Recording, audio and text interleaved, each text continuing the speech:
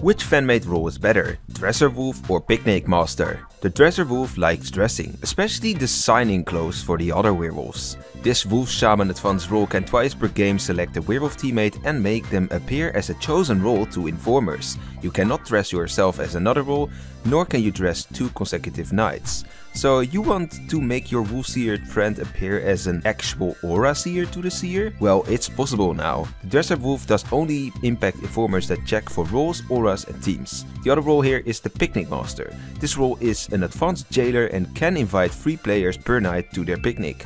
I wonder what happens when you host a picnic at night. Well, those who go can chat with each other and the Picnic Master, who will be anonymous. And the Picnic Master has a poison apple which acts like a bullet and has a protective apple that can protect one of the attendees for that night. So which role is better? Let me know by liking the comments with your favorite role.